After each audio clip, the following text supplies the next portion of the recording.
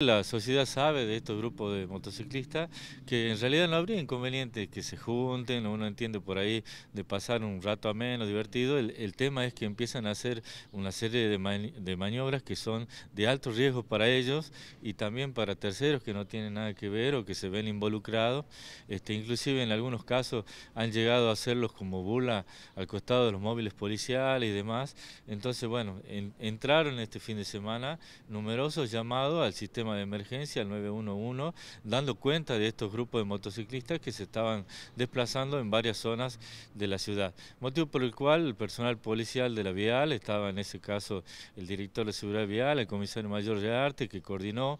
con gente del DCU, de la motorizada, de las unidades especiales y también con el director de la regional número 10 y se hizo un operativo al respecto que, que consistió en un cierre que 17 motocicletas en total y que bueno, luego del cierre de esta motocicleta que tuvieron al resguardo del personal policial, que fueron identificados, contratada la documentación y demás, se dio intervención también a movilidad ciudadana, Dirección de Tránsito Municipal, a efectos de que labre las infracciones correspondientes y el traslado al cancho municipal de todos los involucrados.